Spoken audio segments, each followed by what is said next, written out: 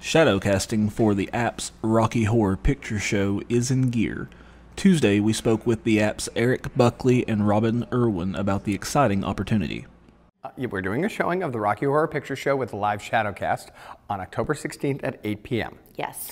And uh, the live shadowcast, there are some roles that are already been cast, but we're looking for any and all people who want to be involved, who want to be, In audition any way. in any way, shape, or form. Uh, we had some auditions already, but if anybody else is interested and they want to contact us and say, hey, we'd like to come in and be part of the, you know, part of the time warp, part of the the group that involved. Uh, We need we'd- partiers. Yeah. We need revelers. and we'd love to have it. Here at Pikeville Medical Center's Heart and Vascular Institute, we have assembled a comprehensive team of cardiac specialists bringing expertise from all regions of the nation and the world. We have coupled that with cutting edge technology, providing them the best equipment and operating rooms available.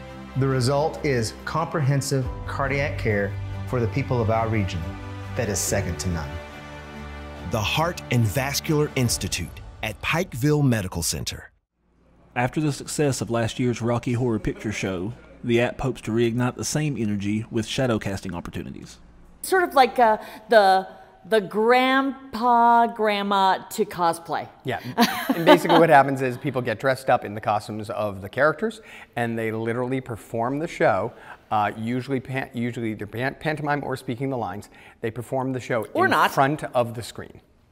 So while the movie is playing, they are performing the roles in front of the screen. Yeah. And it's a blast. And the audience, uh, there are enormous numbers of uh, websites that are dedicated to all of the callbacks to the uh, screen.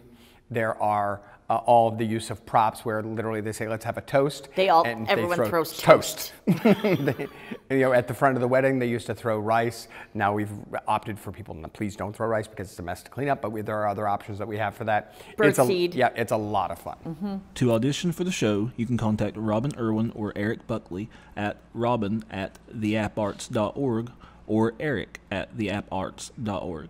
For Mountain Top News, I'm Joshua Sloan.